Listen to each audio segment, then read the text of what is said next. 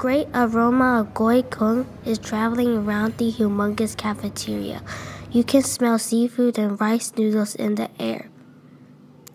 The cafeteria is filled with students chit chatting, blabbering, laughing, and munching their lunch. You can hear the sound of chairs screeching along the smooth, flat surface.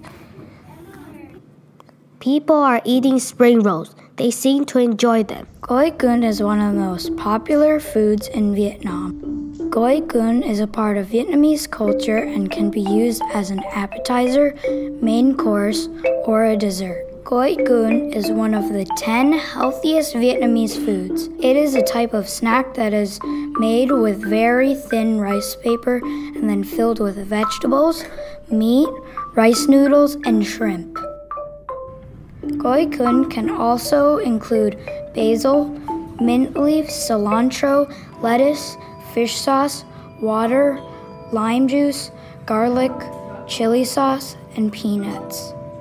Goi cuon can be served fresh or fried. The fried goi cuon is called sha xiao or nem kun. Rice is the main ingredient in goi cuon.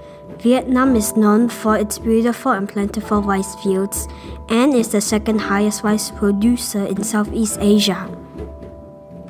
77% of the total rice production in Vietnam is from the Mekong Delta.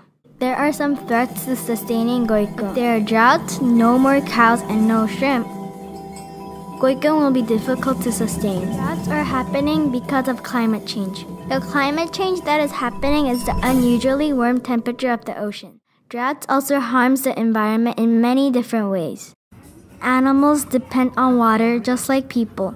When a drought occurs, their food supply can shrink and their habitat can be damaged.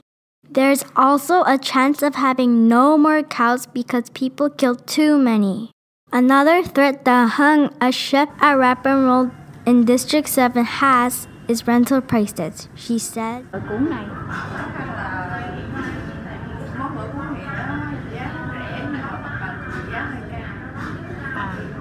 For the solution, scientists say that people should adapt to climate change. The region should build reservoirs along the major rivers and channels.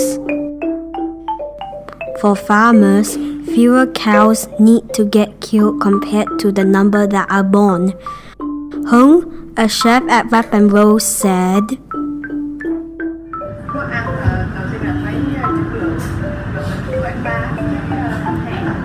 kun is one of the most popular Vietnamese dishes around the world.